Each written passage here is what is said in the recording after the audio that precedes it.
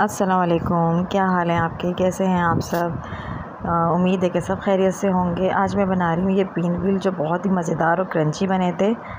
तो जी, चलते हैं अपनी इस मज़ेदार रेसिपी की तरफ़। Snack time snack time recipe है ये। तो चलें जी, देखते हैं किस तरह से बनाए थे। जी, सबसे पहले मैंने डेढ़ कप मैदा ले लिया है। इसकी डो तैयार करने के लिए मैंने इसमें एक चम्मच अजवाइन ऐड करी है, काले तिल ऐड करे हैं, वो भी एक टीस्पून ही है। और अभी मैं इसके अंदर हसब ज़ायका नमक लूँगी और इसके बाद क्यूमिन सीड यानी कि ज़ीरा है, इन सबको डाला है। इन सबको डालने के बाद इन्हें अच्छे तरीक़ा से मिक्स करूँगी ना। ये देखें, ये इन सब चीज़ों को डालकर मिक्स करके इसकी एक डो तैयार करेंगे। मिक्स किया है, मिक्स करके मैं इसको डो को भूनना तैयार करती हूँ और इसको बहुत सॉफ्ट बनाना है ताकि हमारे पिन व्हील बहुत अच्छे बने, बहुत मज़े के बने, टूटे नहीं। और ये रमज़ान स्पेशल भी है, आप रमज़ान में इसको बनाएँ तो बहुत अच्छे बनेंगे देखें ये डो तैयार हो गई है। इसके ऊपर मैं इसे थोड़ा सा घी ग्रीस करूँगी और उसके बाद मैं इसको दोबारा थोड़ा पंच कर कर इसको मैं राइस होने के लिए रखूँगी। तकरीबन आधा घंटा, आधे घंटे के लिए मैं इसको भून कर राइस होने रखती हूँ। ये देखिए रखा है मैंने इसको आधे घंटे के लिए, इसके बाद ही मैंने तीन अदर तो आलू ले लिए थे, इनको मैंने बॉईल कर लिया है, बहुत सॉफ्ट बॉईल करा है, उसके बाद इनको छील लिया है और इसके अंदर जो मैं इंग्रेडिएंट डालूँगी, जो मसाले में ऐड करूँगी, वो मैं आपको यहाँ बताती हूँ कि कौन कौन से हैं। सबसे पहले मैंने ये एक टीस्पून गरम मसाला लिया है पिसा हुआ उसके बाद में इसमें नमक ऐड करूँगी।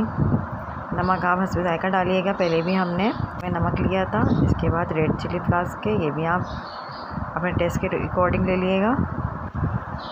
और अब इसके अंदर मैं चिकन पाउडर ऐड करती हूँ। एक टेबल स्पून लिया है चिकन पाउडर और इसके बाद इसमें डालूँगी मैं लहसुन पाउडर लहसुन पाउडर लिया है और आप ये औरिगानो ज़रूर ऐड करिएगा। इससे बहुत अच्छा फ्लेवर आता है। ये मैंने इसके अंदर औरिगानो ऐड किया है। वन टीस्पून अब इन सारे मसालों को मैं मिक्स करके ये आलू मैंने छील के रख लिए थे। अब इन आलूओं को मैश किया है। आलू को मैश करने के बाद ये सारे मसाले मैंने इसके अंदर ऐड करे हैं। हरा धनिया डाला है। हरा धनिया डाल के इसके अंदर मैंने केचप लिया है। टू टेबल स्पून केचप ले लिएगा इससे बहुत अच्छा फ्लेवर आएगा। और ये देखें ये सब मिक्स कर लिया है। और ये भी डो भी राइस हो गई है। अब इसको मैं हाफ़ करूँगी। ये देखें इतनी बहुत अच्छी सी बनी थी। ना ये टूटे थे और बहुत आराम से गूंदा था। इस पर थोड़ा आटा स्प्रिंकल करा है मैंने। देखें इस पर स्प्रिंकल करने के बाद ये बिल्कुल ऐसे ही बेलेगा जैसे हम रोटी बेलते हैं सिंपल तरीके से और इसको ज़्यादा बहुत ज़्यादा जो है ना बेलना नहीं है वरना ये फटने लगेगी। मेरी डो बहुत अच्छी बनी है तो ये ना कहीं से टूटेगी ना ये कहीं से फटेगी और अब मैं इसके ऊपर जो मैंने अपनी स्टफिंग तैयार की, की थी आलू की वो इसके ऊपर मैंने लगा दिया है। अब ये मैंने मायनीज़ लिया है वो अच्छे से इसके ऊपर मैं सारा मिक्स कर दूँगी। और ये इससे जो है ना, बहुत ज़्यादा अंदर से सॉसी बनेगा, बहुत मज़ेदार बनेगा। केचप मैंने पहले ही ऐड कर दिया था इसके अंदर। तो ये देखें, इसको लगा दिया है। और अब इसके ऊपर मैं औरिगानो स्प्रिंकल कर रही हूँ। कुटी मिर्च करूँगी और मैंने काली मिर्च करी है। अगर आपने कुटी मिर्च भी करनी है तो आप वो भी कर दीजिएगा। ज़्यादा स्पाइसी चाहिए तो लेकिन बच्चों की लिहाज से ये बिल्कुल स्पाइसी, इसके अंदर अच्छे डले हुए।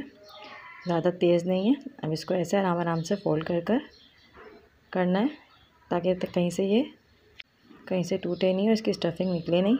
देखिए, मैंने इसे फोल्ड कर दिया।